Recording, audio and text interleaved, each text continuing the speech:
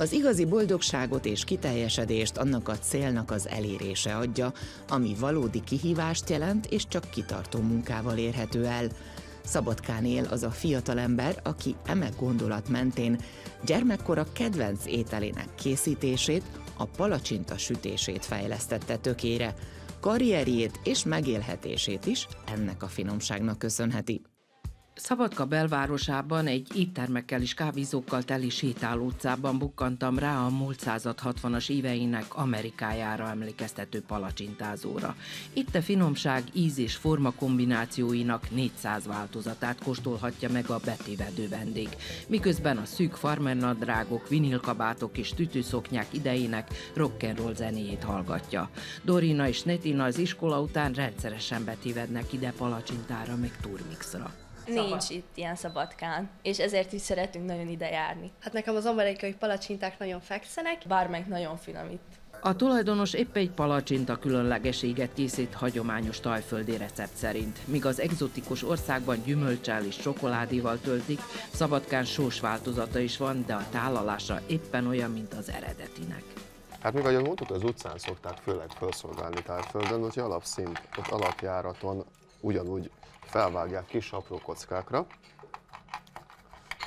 miközben az ember sétál, akkor kis falatokat tudjon bevenni a szájába. A végén jó gazdagon megszúrja parmezán sajttal. A szűk kis konyha másik sarkában magyar palacsinta különlegesség a gondel készül. A dióval gazdagon töltött palacsinta tésztát rumos csokival öntik nyakon, és az összhatás kedvéért még egy ehető virággal is díszítik. Egy házhoz szállító cég rendelésére készül a mákos vanília krémes palacsinta. A különösen finom sós palacsinták titka, hogy a pizza töltelékes tésztát itt ropogósra sütik. Ez akkor igazi, hogyha már kezd kifolyni a sajt belőle. A palacsinta kedvelők imádják ezt a helyet, hiszen itt mindenki megtalálja a kedvencét. Egy üdes színfolt ilyet nem lehet találni, talán a környéken is. Nem, nem is tudom valójában, de lehet, hogy csak Belgrád környékén. Ehhez pedig csak annyi kellett, hogy Egon gyermekkora kedvenc ételét kívánta másokkal is megszerettetni. Egy hét, öt napján legalább palacsintáztunk otthon.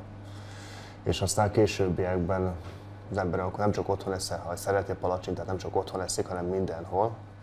Aztán mindig volt valami kicsit kivetni való abban, ahol valahol elettem palacsintát. És akkor egyszerűen megfogalmazódott bennem, hogy akkor csináljunk egy palacsintázót, ahol, ahol finom palacsinta van. Az élet azonban másfelé sodorta. Okleveles közgazdászként egy közgazdasági szolgáltatásokat nyújtó vállalatban kezdett el dolgozni. Gyermekkori álmáról azonban nem feledkezett meg, és amikor megismerte a párját, aki szintén rajong a palacsintáért, már ketten álmodoztak. A világot járva más országok palacsinta sütéseinek fortéjait is megismerték. Hát Amerikában volt az amerikai palacsintát próbáltuk, ugye főleg a klasszikus, már a filmekből is ismert, juharszirapos, esetleg sült palacsintát. Akkor a párommal tájföldön voltunk kirándulni, nyaralni, és ott volt lehetőségünk kipróbálni a tájföldi palacsintát, ami egy teljesen más ízvilág, mint amit itthon megszoktunk. Sokan a világháló által rendelik és házhoz szállítják a nasiukat, de nem kis száma azoknak sem, akiket a kellemes környezet csábít ide. Ebb az amerikai palacsintáknál tartottunk, azokat kísérleteztük otthon, készítettük el, és akkor párom egyszer csak azt mondta, hogy mi lenne, hogyha az amerikai palacsintából kiindulva amerikai rockzene szól, az az 50-es, 60-as évek, azt mindenki szereti. Így született az ötlet, hogy az egyik híres amerikai filmből koppintsák le a palacsintázó belterét.